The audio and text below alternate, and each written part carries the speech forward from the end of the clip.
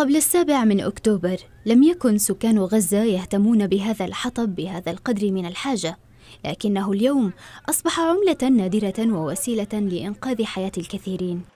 هنا في دير البلح وأمام أكوام الحطب هذه يجتمع هؤلاء بحثا عن مصدر للدفء والأمان حيث يواجه السكان نقص الوقود والغذاء والماء ليعكس ذلك الواقع الصعب الذي تعيشه آلاف الأسر العفيفة. كان عندي حطب في الدار وشفت الوضع هيك صعب وضع الناس.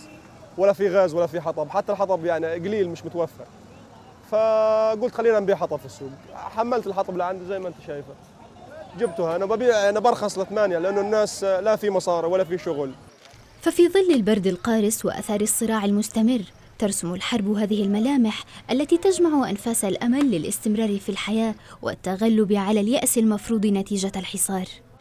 الأزمة اللي بعيشها غزة والحصار اللي عليه وأزمة السولار والبنزين والغاز والأكل. فاضطرينا من قلة الغاز طبعا نشتري حطب نعمل أكلنا على الحطب خبزنا على الحطب. يومنا كله عايشين يعني على الحطب تقريبا. وسط هذه الأوضاع الصعبة يلجأ السكان إلى قطع الأشجار للحصول على الحطب من أجل تدفئة منازلهم وصغارهم وطهي طعامهم. ليظهر هؤلاء الناجون بإصرارهم وصمودهم أمام تلك الظروف القاسية في انتظار بصيص من الأمل في زمن الحرب والمعاناة. بقى في الساعات. الساعات الطويلة لأن أحصل على خمسة شكل خبز لأولاد الطعمين وبضلوا عليهم على ثمان ترغفة بضلوا عليهم لتاني يوم. على تاني يوم عشان إيش أرجع تاني أجيب لهم لأنه فيش موفر واحد معاه مادة. مع الحصار الإسرائيلي وحظر الوقود تعيش أمهات وأطفال في ظلام دامس ونقص مستمر في أساسيات الحياة.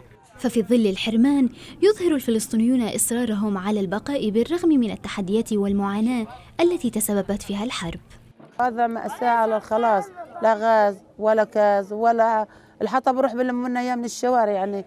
اخذوه من عند الناس الحطب هذا من عند الناس جابوا من الصحراء جابوه عشان نخبز وعشان نعمل لنا كوباية شاي. ما فيش ما فيش بالمرة نهائيا ولا خبز ولا أكل ولا شرب ولا وحتى طحين ما فيش شيء.